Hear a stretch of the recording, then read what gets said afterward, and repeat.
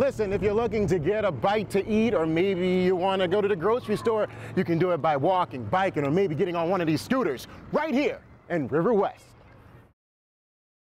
My name is Ken Converse. I'm the manager at Bliffert Lumber and Hardware. It's been here since 1904. Built this lumber yard back then. Uh, Eli's the fifth generation owner. It's been you know family owned for over 100 years. And just this year it became employee owned. A lot of people come in, we you know help them do weird projects, whether it's repairing an old chair or helping them design uh, like a physics project for UWM.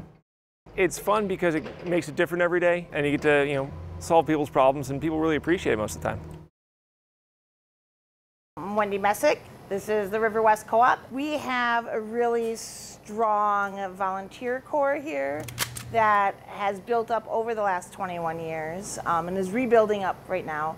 But the interactions of people coming in and getting to know the kids and getting to know our neighbors, new people um, moving into the city, find that when they are here, when they volunteer here, when they hang out here, they tend to figure out where they fit. The goal is that any major profits that we would make get funneled back into the business or funneled back into the community.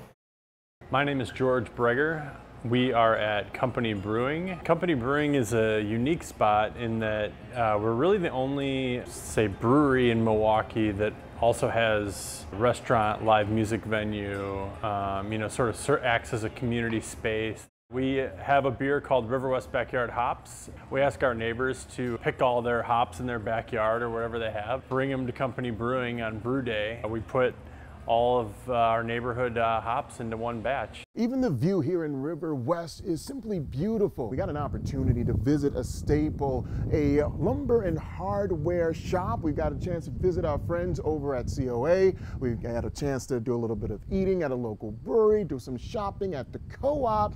We even did a little bit of boxing, reporting from Riverwest for 58 hometowns. I'm Frankie Jupiter. We get a little exercise. Let's do it. Riverwest, y'all.